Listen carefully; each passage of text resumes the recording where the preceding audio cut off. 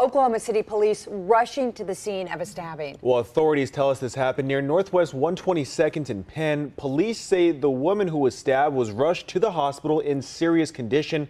Police tell us this started as some sort of a domestic dispute and that they do know who the suspect is. Authorities have multiple canine units out searching for that suspect. And of course, we will continue to update you as we get more information.